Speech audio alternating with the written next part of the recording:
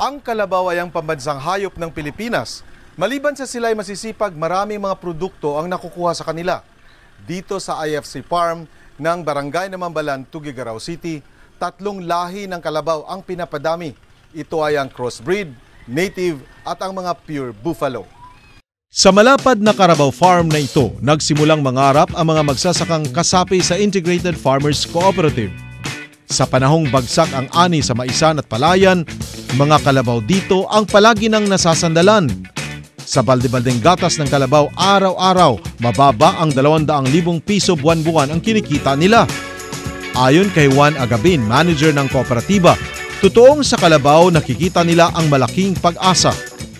Ang kooperatibang ito ay tinayo dahil sa grupo ng magsasaka.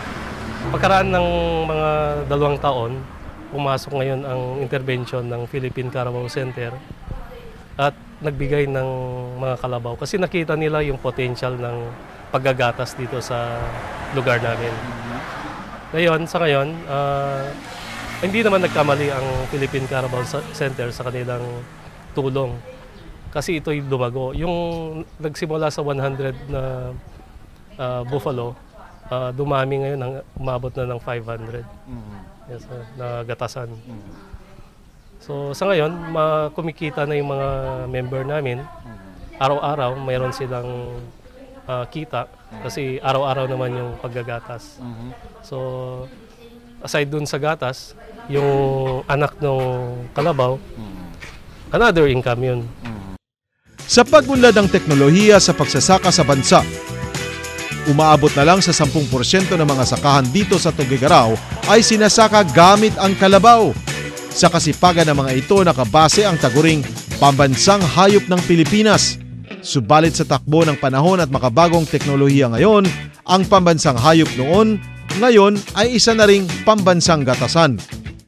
Ah, naiintindihan ko yung programa ng gobyerno natin, ah, farm mechanization.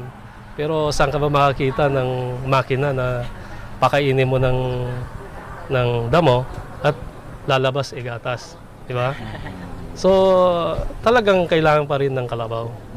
Yun yung, kaya ito yung programa namin na pagpatuloy yung pag-aalaga ng kalabaw. Sa talaan ng Philippine Carabao Center, bumaba ang bilang ng mga kalabaw sa bansa. May kabuuan na bilang 2,888,233 kalabaw noong 2016. Sa 2017, may natira na lang 2,882,954.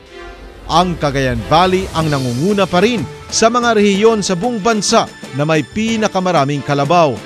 Pangalawa ang Central Luzon at pumangatlo ang Bicol Region sa kagustuhang padamihin pa ang kalabaw sa bansa. Tiniyak ng Philippine Carabao Center na bibigyang assistance ang mga farmers.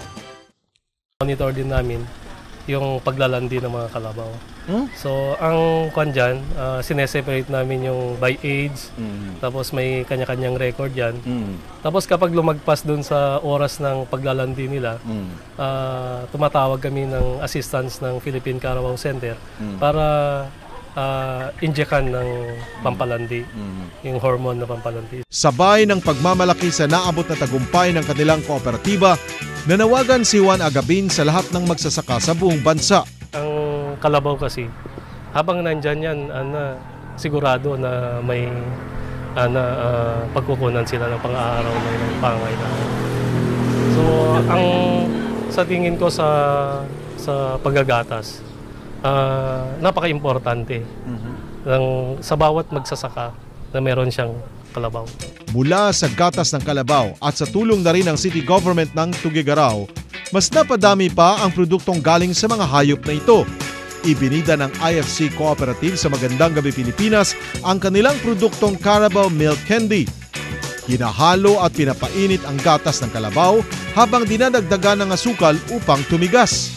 Kasunod ang pagkuhulma at pagpipira-piraso. Gamit ang gatas ng kalabaw, ang produktong pastillas at milk candy ay may regular orders na ngayon sa maraming mga outlets sa loob at labas ng Cagayan. Magandang gabi, Pilipinas!